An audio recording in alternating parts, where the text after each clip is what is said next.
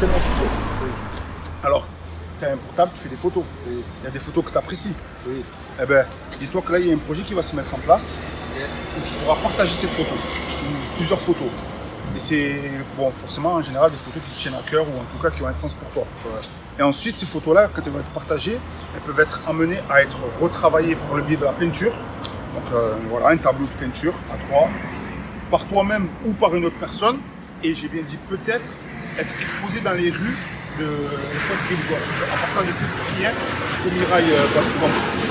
Donc voilà, si ça t'intéresse, on te fera passer les liens et tout ça. Donc voilà, c'est un truc pense sympa. Moi en tout cas, je vais y participer.